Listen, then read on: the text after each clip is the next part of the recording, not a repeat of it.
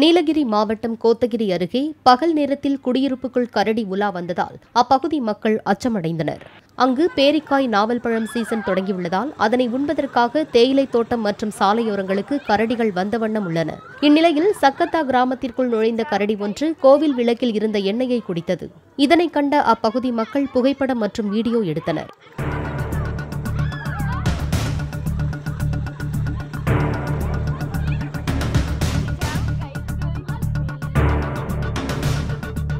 குடியிருப்புக்குள் நுழையும் கரடிகளை வனத்துறையினர் கூண்டு வைத்து பிடிக்க வேண்டும் என கோரிக்கை வைத்தனர்.